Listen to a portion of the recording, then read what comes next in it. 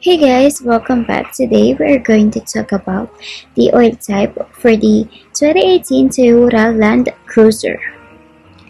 And if you're looking for what oil to buy for your 2018 Toyota Land Cruiser, I have already looked it up.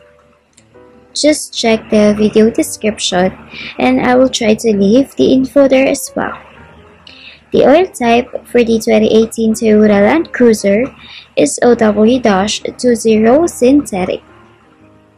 This oil type is only the manufacturer's recommended oil type. Keep in mind that the type of oil could change depending on the year and mileage of your car. You can change your oil as often as every 3 months or you can ask your mechanic for the recommended oil type and frequency of changing your oil.